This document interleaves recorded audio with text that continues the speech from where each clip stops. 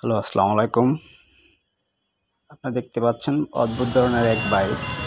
আসলে এটা বাইক না সাইকেল কিছুই বোঝা যাচ্ছে না। ছোট এক ধরনের বাইক।